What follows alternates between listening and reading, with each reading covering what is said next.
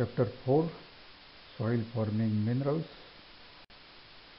So, introduction Minerals are natural occurring solid with a definite chemical composition and crystal structure. Soil structures is composed of atoms having an orderly and regular arrangement. When molten magma solidifies, different elements present in them freely arrange in accordance with the attractive forces and geometric form. Silica tetrahedron is the fundamental building blocks for the formation of different minerals. Different silicate minerals are orthosilicate, inosilicates, phyllosilicate and tectosilicates. There are non-silicate minerals also. These are different oxide, carbonate, sulfate, phosphate, etc. Minerals that are original component of rock are called primary minerals, feldspar, mica, etc. Minerals that are formed from changes in primary mineral and rock, rocks are called secondary minerals, clay minerals.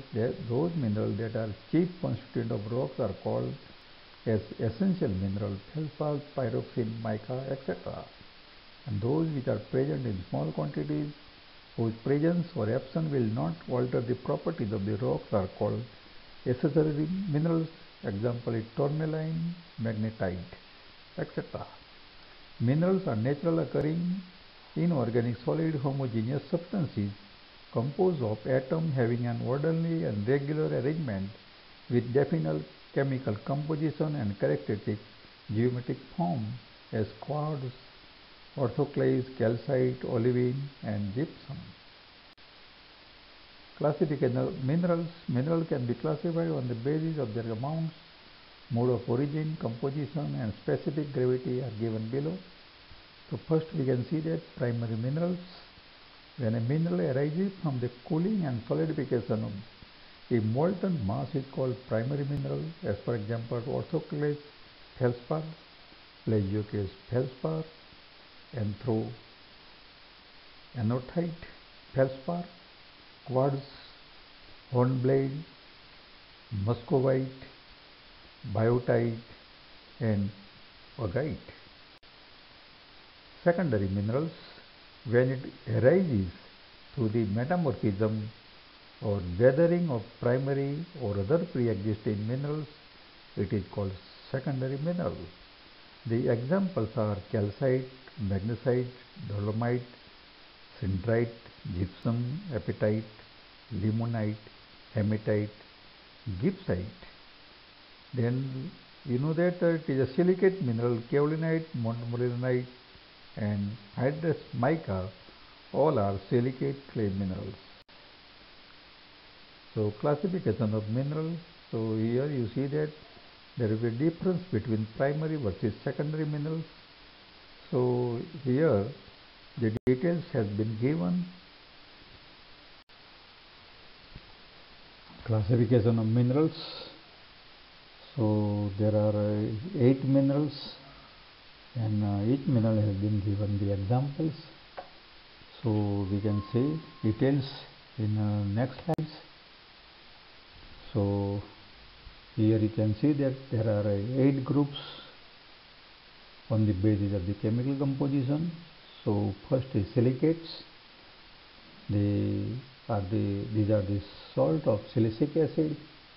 The example are muscovite, biotite, epidote, orthoclase, zeolite, olivine and amphibole. The second one is native elements. The mineral of this group are made of only one element that is graphite, diamond and sulfur. Third one is oxide, quartz, hematite, goethite, limonite, magnetite, pyrolusite, rutile, then gibbsite. So it is oxide, iron oxide, then uh, um, iron oxide, pyrolusite, manganese oxide, then titanium oxide, then aluminum oxide. Then sulfate.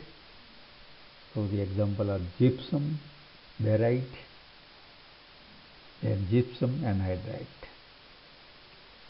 So when there is a water molecule in gypsum, then it is called CaSO4 But when it is, there is no water molecule, then it is called gypsum anhydrite, and the chemical formula you see is CaSO4 only. Then carbonate.